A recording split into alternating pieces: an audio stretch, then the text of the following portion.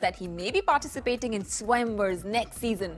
लगता है विवेक डर गए हैं कि कहीं उनका करियर और इमेज बर्बाद ना हो जाए. Apparently that's the reason he has decided to hurriedly get into an arranged marriage.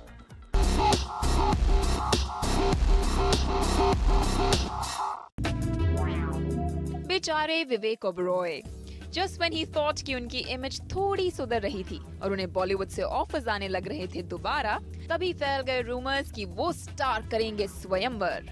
अब कहीं वो राखी सावंत और राहुल महाजन जैसे लोगों की कैटेगरी में आ गए तो उन्हें कौन हाथ लगाएगा? Definitely not any sensible producer और डायरेक्टर बेचारे वैसे ही वो सलमान खान के वायलेंस और इंसल्ट से तंग आ चुके हैं। Just when the Bachchan family was beginning to acknowledge him वहीं किसी ने डिसाइड किया कि रूमर्स उड़ाकर उन्हें बना देते हैं एक टीवी स्टार ना विवेक ओब्रॉय को कितने कम का चांस मिल सकता है? तो विवेक को लगा होगा कि कहीं उनकी भी नौबत स्वयंवर जैसी ही ना हो जाए। तो उन्होंने झटपट अपनी शादी का ऐलान कर दिया।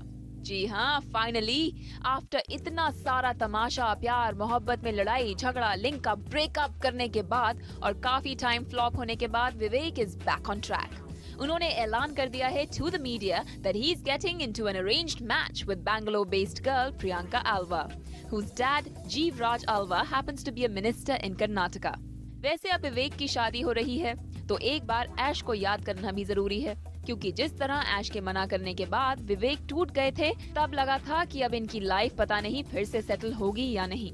पर कहते हैं ना कि टाइम हील्स एवरीथिंग चलिए विवेक अच्छा है कि अब आपको अपना लाइफ पार्टनर मिल गया। वैसे विवेक की शादी इंटरेस्टिंग तो होगी ही, पर देखना ये है कि वो बच्चन को इनवाइट करते हैं या नहीं। और साथ ही विवेक की इस शादी से उनके और सलमान खान के रिश्ते फिर ठीक होते हैं या नहीं? तो ये सब देखने के लिए करना पड़ेगा हमें शादी तक इंतज़ार